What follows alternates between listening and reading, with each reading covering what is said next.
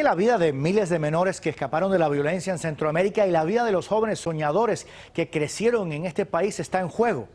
Para nosotros es esencial mostrar estas historias, historias que reflejan el drama que viven las familias inmigrantes en este país. Michelle Cepeda es soñadora. Su vida y la de su familia dependen del futuro de DACA. Michelle, gracias por estar con nosotros. Tú llegaste aquí a, los nueve, a las nueve meses de edad. No conoces otro país. Eh, ¿Cuándo te diste cuenta que no tenías papeles?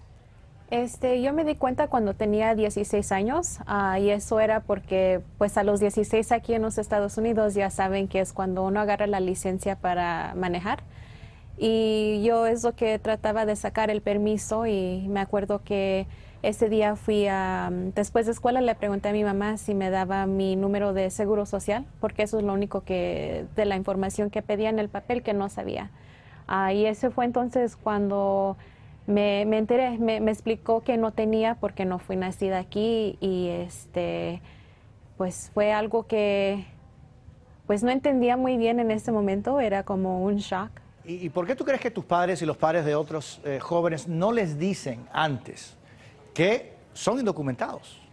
Ah, pues yo pienso que pues no es por hacer una con mala intención, este, por una pienso que a lo mejor es algo que no es muy pues no, saben cómo empezar esa conversación. Tal vez no sabían exactamente cómo me iba a afectar esto en la vida. y uno como padre, y tú lo sabes muy bien, uno no quiere de ninguna forma decirle algo a un hijo que pueda ser problemático o preocupante para ese niño, pero a la vez... Sí. Eh, y fíjate, hablando de que tú tienes familia, tú conociste a tu esposo en la universidad, se hicieron novios, eh, eh, y él también es, es parte de DACA.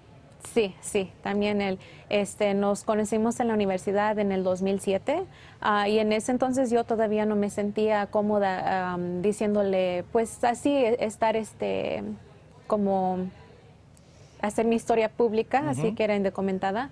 Él, pues él ya se estaba sintiendo muy serio conmigo y decidió decirme. y me acuerdo que él estaba bien nervioso, no sabía qué, qué iba a decir yo, pues. Y cuando me dijo, pues me quedé sorprendida, pero a la misma vez como más tranquila porque le dije, pues yo también. Ah, y era, era alguien que pues me entendía de lo que yo estaba pasando también y, se sentía un poquito como más segura. ¿Cómo te sentiste el 15 de septiembre cuando salió esa noticia de DACA?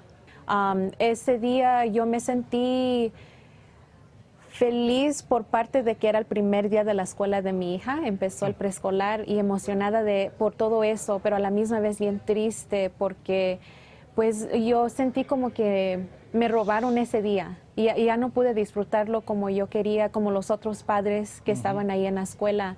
¿Cómo ves el futuro? Pues ahorita todo está en pausa. no quiero decir que nuestros sueños ya no se van a hacer realidad. La DACA de mi esposo se vence en un año.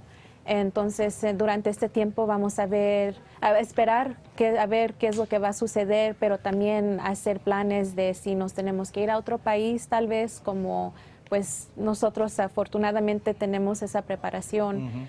o este, pero también todavía estamos aquí haciendo el esfuerzo para seguir, seguir luchando para poder estar aquí también. Eso es lo importante, seguir siempre eh, persiguiendo sus sueños y cuenta con nuestro apoyo siempre. Michelle Cepeda, gracias por estar conmigo este domingo, te lo agradezco Muchas mucho. gracias. Continuando con Enfoque, ustedes saben que hemos visto un aumento recientemente en el número de casos de reportes